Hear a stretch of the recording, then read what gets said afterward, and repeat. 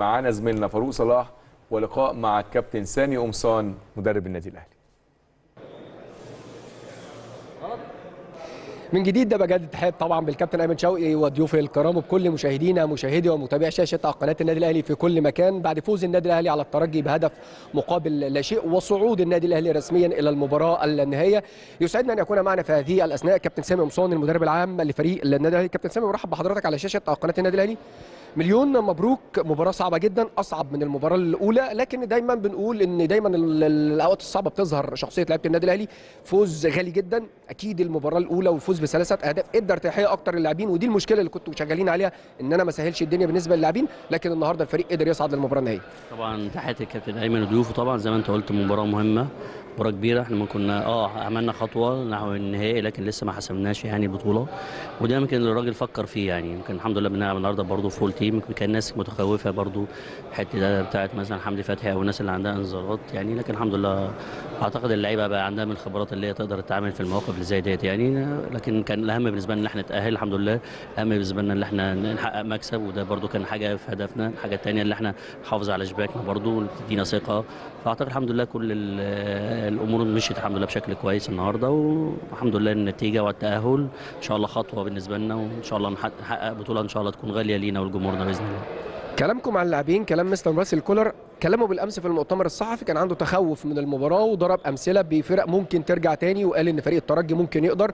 ودي من الأمور اللي كان حريص جدا إن هو ينبه اللعيبة ليها. وبالتالي لعب بالتشكيل وكان بعض الأمور بتقول إن الأهلي ممكن يعمل تعديلات لكن فضلتوا إن أنتوا تلعبوا بالقوام الأساسي لفريق النادي الأهلي. طبعا خلينا نتفق برضو إن فرقه الترجي فرقة كبيرة عندها لعيبة مميزة وعندها خبرات كبيرة جدا في أفريقيا. وممكن الكرة فيها متغيرات كتيرة جدا يعني ظروف الماتش ممكن تساعد تساعدك ظروف الماتش ممكن لا قدر الله تبقى في ضدك يعني لكن الحمد لله زي ما انت قلت الراجل اتكلم في النقطة دي بشكل مهم جدا وأعتقد الحمد لله اللعيبة استوعبت الدرس ديت وكانت الحمد لله النتيجة الحمد لله يعني التأهل يعني.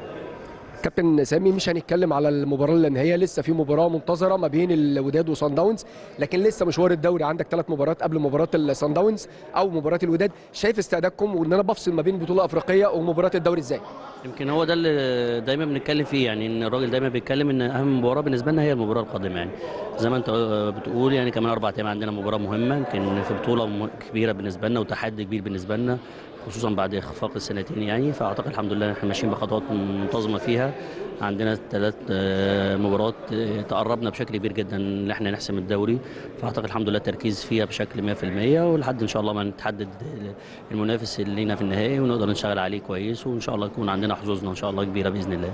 كباتننا في الاستوديو التحليلي الكابتن أسامة عرابي الكابتن هاني رمزي الكابتن عادل عبد الرحمن الكابتن أسامة حسني. اتكلموا في نقطة مهمة جدا إجادة النادي الأهلي وإن مستر مارسيل كولر لا ضلته في طريقه 4 3 3 وعنده العناصر في نص الملعب اللي تقدر تحقق له أي تحول آه، تكتيكي في الملعب بطريقة 4 3 3 أو 4 2 3 1 يمكن هو الراجل يمكن الحمد لله يمكن لعبنا بكذا طريقة لعب يعني يمكن في بداية الموسم لعبنا 4 2 3 1 زي ما أنت قلت وبعد كده لعبنا 4 3 3 يمكن آه، اديتنا أفضلية في ماتشات كبيرة.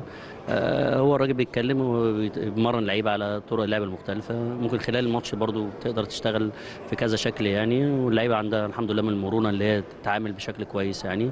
زي ما أنت قلت اديتنا أفضلية في مباراة كبيرة وبرضو في بداية الدوري 4 2 3 1 اديتنا أفضلية.